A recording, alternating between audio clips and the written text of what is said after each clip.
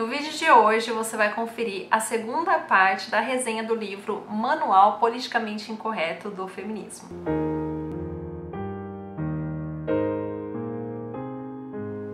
Eu preciso começar esse vídeo dizendo que se você ainda não viu a primeira parte dessa resenha, eu tô deixando o link aqui em cima e quando esse vídeo aqui acabar, você clica para assistir também a primeira parte, para que assim você possa ter uma ideia completa a respeito dessa obra. No vídeo de hoje eu vou tratar do sexto ao décimo capítulo e nesses capítulos a autora vai tratar a respeito da demonização do homem do casamento, também sobre divórcio, fertilidade e aborto. Eu achei bem curioso como algumas análises que essa autora faz coincidem com as análises que a Ana Campanholo faz em seu livro Feminismo, Perversão e Subversão. Eu imagino que as duas não se conheçam e imagino também que elas discordem de muitas coisas, pois como eu disse no outro vídeo, por essa obra aqui, eu deduzi que essa autora não é cristã e a Ana Campanholo é. Mas para que a gente possa concordar sobre o quão nefasto é o feminismo, não precisamos ter a mesma fé e também não precisamos ter ouvido de outras pessoas o quanto o feminismo é ruim. Basta ler as obras das próprias feministas e ser intelectualmente honesto que já podemos chegar a essa conclusão. Carrie Lucas, assim como a Ana, também olhou para o feminismo e tentou encontrar nele uma resposta para que as mulheres não sofressem nas mãos desses homens malvados. E a resposta que Carrie Lucas obteve do feminismo, vejam só, foi a mesma que a Ana. As feministas sugerem que as mulheres tornem-se lésbicas. Aqui no Brasil, muitas feministas não aceitam de modo algum as conclusões da Ana, simplesmente porque ela é cristã. Mas aqui temos uma autora que, ao que tudo indica, não é e chegou nas mesmas conclusões da Ana. E vale ressaltar que a autora menciona várias fontes para embasar sua argumentação, como por exemplo a citação que ela faz aqui da feminista Sheila Ruth. Abre aspas. Pode ser que ainda tenhamos muito a aprender com o amor e o sexo lésbicos, sendo mulheres que amam mulheres por elas serem mulheres. As lésbicas fazem notar que estão numa posição especialíssima para emancipar a sexualidade feminina livres da política heterossexual e dos papéis e prescrições de gênero de praxe, afirmando-se mulheres de um modo muito mais produtivo e poderoso. Mais conscias das necessidades de suas parceiras, as mulheres lésbicas reivindicam ser mais capazes de descobrir e expressar a autêntica sexualidade feminina do que as heterossexuais. Muito embora os casais lésbicos tenham os mesmos conflitos de quaisquer duas pessoas em um relacionamento íntimo, as experiências de muitos casais lésbicos têm implicações valiosíssimas para criar relacionamentos não exploratórios. Se as feministas demonizam tanto os homens a ponto de dizer que uma mulher lésbica está em uma posição especialíssima, é claro que elas também vão demonizar o casamento, pois este só é constituído por homem e mulher. Aqui no livro, a autora faz várias citações de feministas que deixam escancaradas as suas intenções de erradicar o casamento, como por exemplo foi o que disse Robin Morgan. Não podemos destruir as desigualdades entre homens e mulheres até termos destruído o casamento.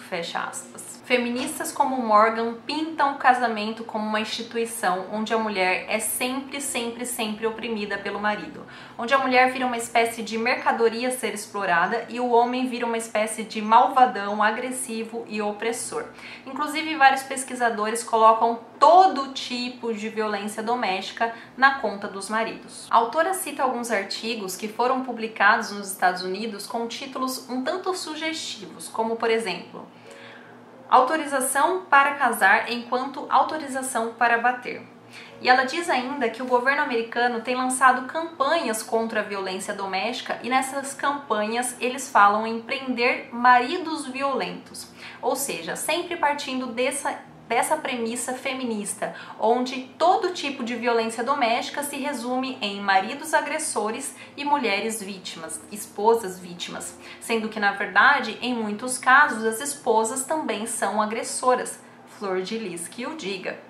E em outros casos, os filhos podem ser os agressores, ou os netos podem ser os agressores, ou os avós podem ser os agressores, enfim, todo tipo de violência doméstica, todo tipo de violência que decorre do ambiente doméstico é um tipo de violência doméstica e não se resume em maridos agredindo suas esposas. E fica aqui uma lição de casa para você.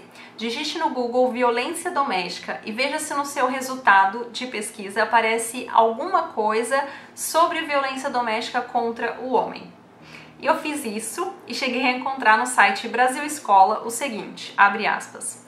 A violência doméstica acontece contra crianças, adolescentes, mulheres e idosos. Fecha aspas. Ou seja, a violência doméstica, segundo esse site, acontece contra todas as pessoas, menos contra o homem adulto. Este é um ungido abençoado, capaz de impedir pela força da mente que qualquer tipo de violência chegue até ele.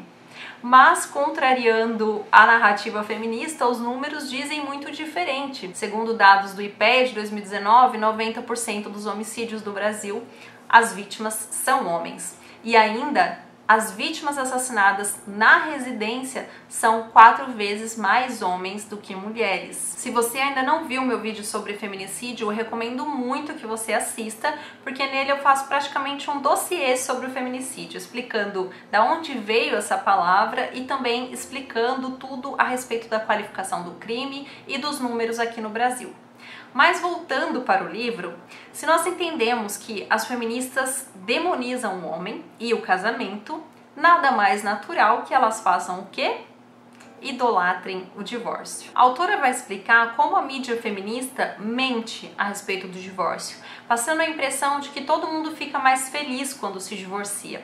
Filmes que retratam a divorciada empoderada, livros com títulos Abrindo caminhos. Por que mulheres que terminam seus casamentos o fazem muito bem? E acreditem, até uma cantora gospel chegou a dizer em uma entrevista que o divórcio representava cura. Nas palavras da rainha do pop cristão Amy Grant, abre aspas, Deus não criou essa instituição, a do casamento, de modo que pudesse apenas conectar pessoas nela ele a deu para nós a fim de que pudéssemos gozar um dos outros o melhor possível. Se há duas pessoas que não estão vivendo e prosperando de modo saudável, eu digo para desfazer o casamento. Deixemos que elas se curem.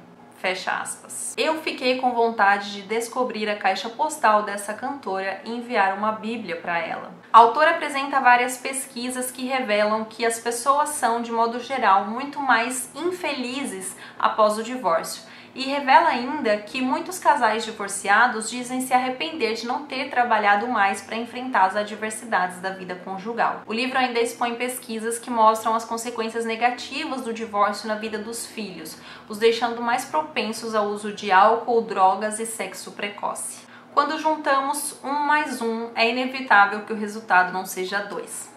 Ao olharmos para todo esse esforço feminista por demonizar o homem, demonizar o casamento e enaltecer o divórcio, percebemos que os interesses das feministas são contrários aos interesses de muitas mulheres.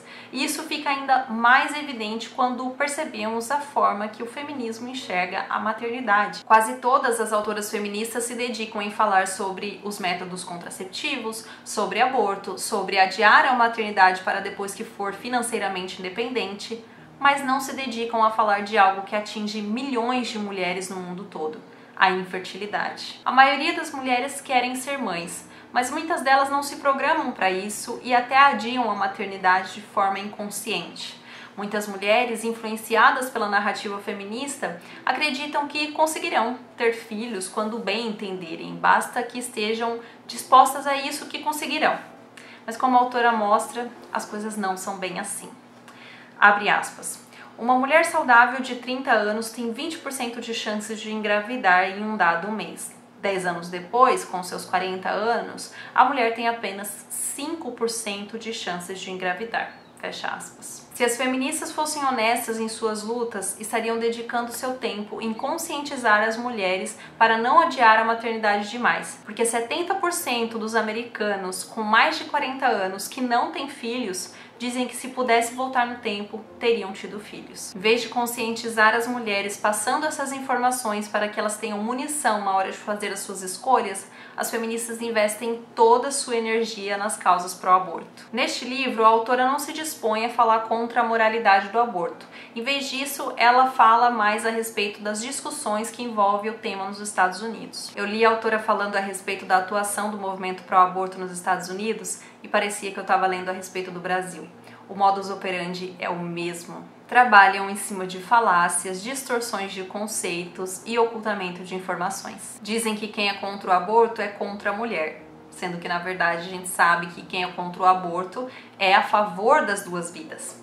Dizem também que o aborto é uma questão de saúde pública e aí, ao mesmo tempo, elas relativizam o que é saúde para que todo tipo de aborto possa ser realizado e, claro, também omitem todo tipo de informação a respeito das consequências físicas e psicológicas do aborto provocado. Creio que tudo que eu expus até aqui deixa uma coisa muito clara. As feministas não lutam a favor dos interesses femininos, muito pelo contrário, elas são contra eles.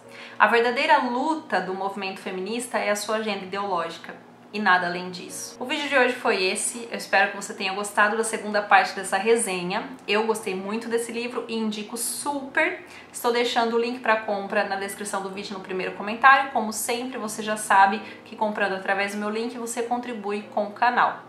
Se você gostou dessa resenha, não perca a próxima, que é a parte final dessa resenha, onde eu abordarei dos capítulos 11 ao 15 e abordarei temas como desigualdade salarial, creche, política, independência feminina, enfim. Vai estar tá muito legal também, eu já convido aqui todos vocês para assistirem, como também convido para assistirem a primeira parte que eu deixei linkada aqui em cima.